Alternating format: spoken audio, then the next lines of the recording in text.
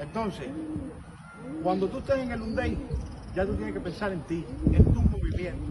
Antes de pensar en la situación de juego, en los lanzamientos que está tirando el pitch, con qué está abriendo, si está, hay pitches que no abren con strike.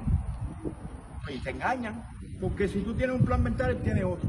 Entonces, lo primero que tú tienes que hacer para no caer en la presión psicológica, que es el enemigo número uno de los bateadores, y casi todas las broncas, el 90% de las broncas en las que se meten los bateadores, porque se contraen del tren superior de los hombros y pierden la progresividad del swing, pierden la, progresividad del cuerpo, de la rotación, y al perder la progre- esa progresividad de- del cuerpo, pierden el control del bate.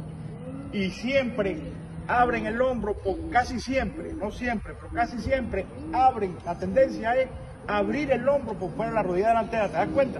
Y es porque están apretados. Pero ¿cuál es el origen de apretarse? Todo, todo tiene una causa.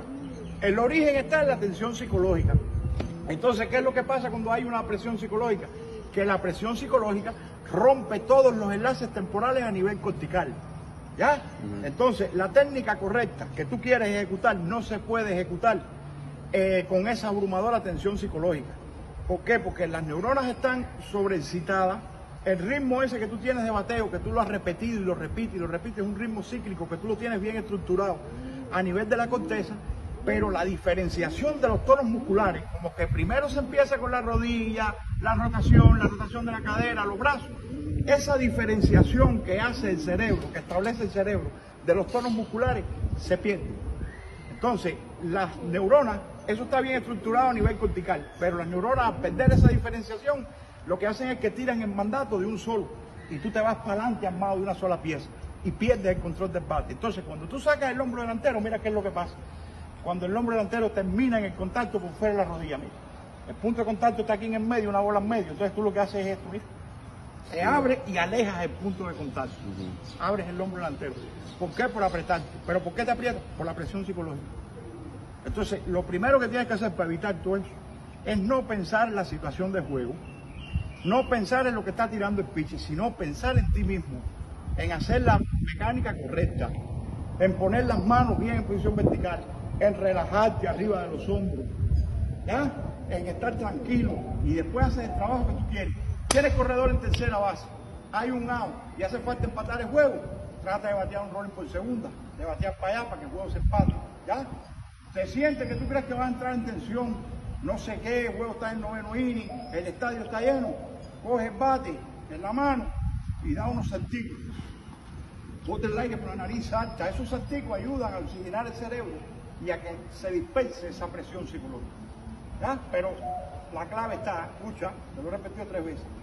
Antes de mirar al piche y de analizar cualquier cosa, lo primero que tienes que analizar es el trabajo que tú quieres hacer y tus propios movimientos, mirarte por dentro.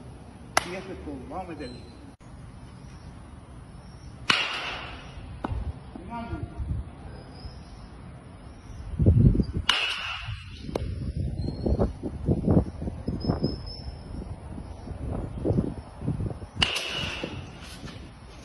Dedica duro.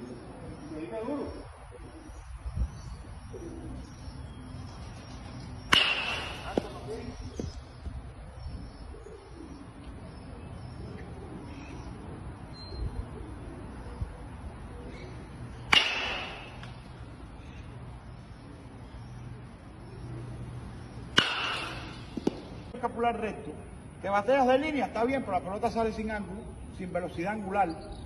¿Ya? Sale a velocidad de brazo y de biomecánica y de cuerpo y de eso.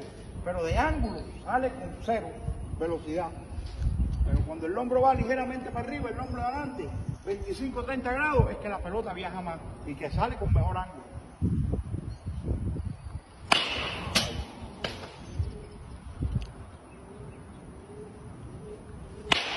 Eso está excelente.